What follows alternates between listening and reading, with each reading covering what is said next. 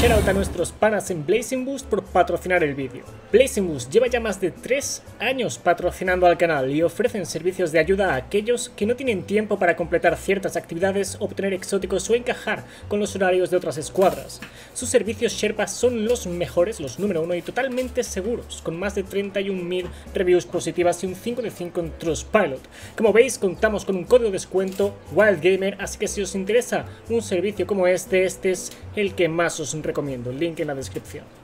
Bendiciones, Bungie acaba de soltar la bomba, ha hecho una gran revelación sobre temporada 21, principalmente del arte, ¿vale? Aquí podéis ver la primera imagen de arte de temporada 21, temporada de las profundidades, podéis ver a los tres guardianes con tres armaduras que la verdad están bastante finas, bastante guapas, y si las comparamos con las más recientes de Raíz de las Pesadillas, creo que todos coincidiremos en que tiene un diseño eh, particularmente similar, ¿vale? Podéis fijaros en que eh, los patrones que toman son bastante parecidos a los de las armaduras de raíz de las pesadillas. Y luego por otra parte, ya habréis notado, tenemos a Sloan aquí abajo, pero hay algo que mucha gente ha pasado desapercibido así mirándola a primer vistazo y es esto de aquí.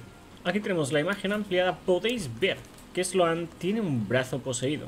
Y hace no mucho hablamos sobre que se filtraron las armas, ¿vale? Estamos hablando de armas que vendrán con esta temporada, que en principio son las de la decisión, la actividad que viene con temporada del nómada, y que esta vez vendrán con nuevas ventajas, rasgos originales y también con un diseño poseído.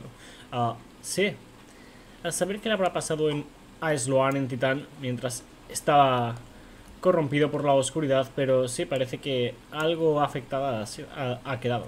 En fin, además de eso podéis ver varias criaturas marinas eh, entre ellas, ah, la más grande, pues esta, sí. O sea, esto, lo más seguro es que sea ese monstruo marino que hemos estado viendo constantemente en Titán, aquellos veteranos que hayan estado en Titán al menos, uh, que podíamos ver al pasar por depende qué áreas, ¿vale? De hecho lo podías ver desde la superficie, podías ver algunas escamas y luego también pasando por depende qué áreas con cristales y demás que podías ver uh, el océano, pues podías ver el monstruo pasar por ahí, podías ver la sombra.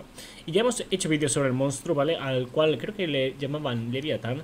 Uh, todo apunta a que muy probablemente sea uno de los dioses gusano, ¿vale? De hecho, en el arte en la edición coleccionista que obtuvimos con Eiffel, nos mencionaban el dato, el hecho de que en cada uno de los planetas gaseosos se supone que hay un dios gusano.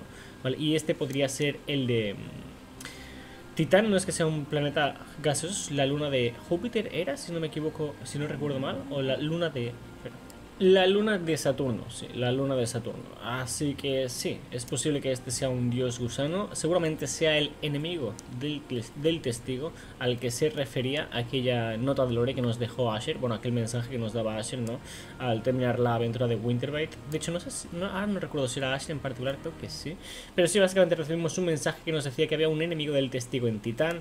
Seguramente sea este y la próxima temporada pues iremos a ver qué onda, ¿no? Porque tampoco sabemos si es que estará uh, de nuestro lado, si tendremos que convencerlos, si... a saber, ¿vale? Pero la verdad pinta todo realmente genial de cara al lore, las armaduras también pintan muy bien, habrá muchos cambios también de cara a mecánicas, a ciertos aspectos del juego, por ejemplo, no va a haber más nivel de poder, no van a haber esos aumentos y pronto pasaremos por esos detalles y todo lo que nos han estado comentando, no solo en este TWAP, sino desde, desde el año pasado, literalmente, desde el año pasado nos han estado comentando cosas sobre temporada 21, incluyendo que va a regresar el perro del CLME, ¿vale? El perro EXO.